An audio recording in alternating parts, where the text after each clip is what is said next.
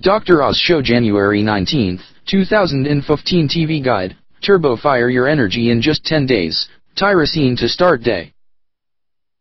Dr. Oz, January 19, 2015, gave out a 10-day plan to revitalize the body and get more energy naturally. The plan involves five simple steps and covers everything from snacking to those afternoon caffeine drinks. The problem with most snacks and drinks is that they contain caffeine and sugar. These will give you a big boost in energy but follow with a crash that leaves a person feeling really tired. Oz says the key to sustained energy all day is to get the right nutrients and use natural foods that will satisfy cravings and keep blood sugar levels from spiking. 5-Step 10-Day Energy Plan This plan slowly introduces healthy habits in steps so the body is more likely to accept them and a person will not feel deprived. 1 Tyrosine is a building block for protein and it will help the body metabolize the protein you eat. Oz says it is found in eggs, cottage cheese, and salmon. Days 1 and 2 of the plan involve eating foods that contain tyrosine for breakfast to start the body's natural metabolic process. 2 super hydrating foods Foods like cucumbers, celery, peppers, and cauliflower help the body stay hydrated. Oz says we need plenty of water during the day to keep energy levels high.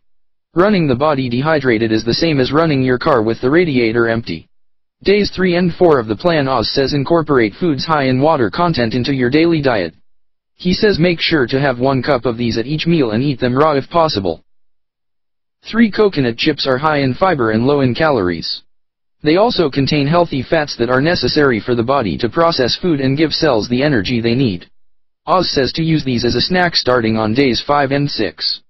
This will help a person reduce the sugar they ingest and still give the body a treat.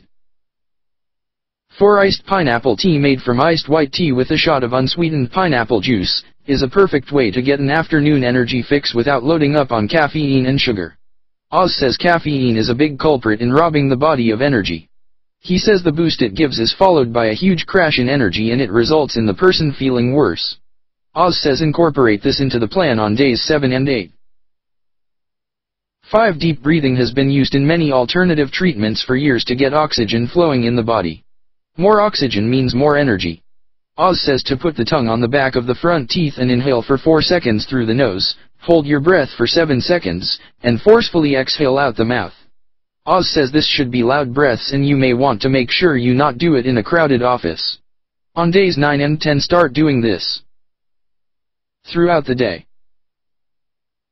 Once a person has made it through the first 10 days, Oz says keep the whole routine up daily and you will see your energy levels increase.